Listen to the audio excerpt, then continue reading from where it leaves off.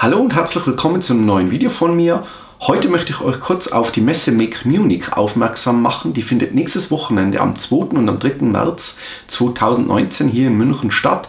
Eine ganz tolle Maker-Messe, äh, wo ich euch schon mal einen kurzen Ausschnitt zeigen kann, wie es da ungefähr so äh, aussieht auf dieser Messe. Ich habe 2017 schon mal ein kleines Video dazu gemacht.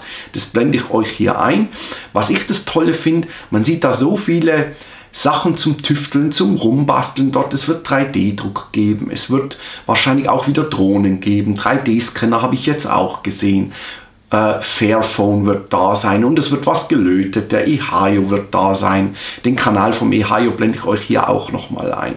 Und es gibt bestimmt ganz, ganz viele tolle Sachen, wo ihr auch Inspirationen für eure eigenen Projekte auch äh, sammeln könnt.